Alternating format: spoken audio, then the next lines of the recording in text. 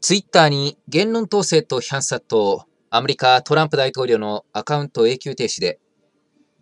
先日ツイッター社がアメリカのトランプ大統領のアカウントを永久停止、永久凍結したと発表してしまいました。ツイッター社は声明にて、トランプ大統領の投稿は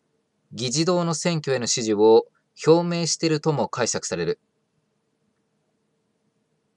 トランプ大統領の就任式欠席は、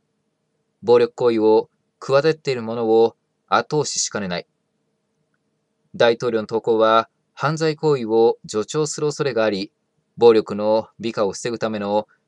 会社の規定に反すると判断したと説明しておりますが、まあ、こちら、あからさまなルールのですね、悪用であり、言論統制であると現在批判が殺到しております。このツイッター社のアカウント凍結、あくまで一民間企業の判断でございますので、トランプ大統領が裁判を起こせば、アカウントが復活する公算が大きいものと思われますが、今回のツイッター社の声明、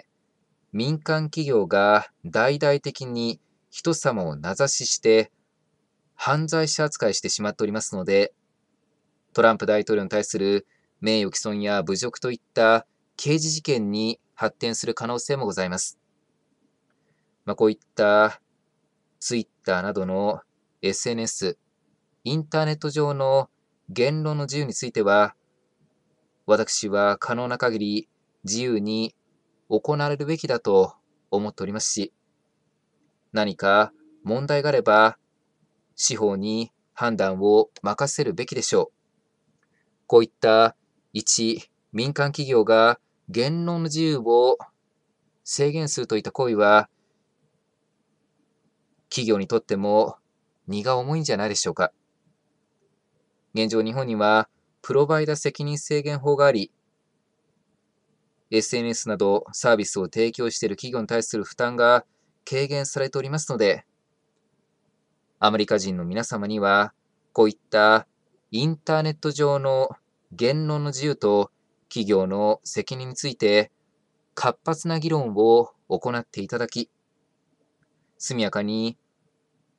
法整備を行い、このような問題が起こらないように対策を講じていただくようお願いいたします。以上になります。ご清聴いただきありがとうございました。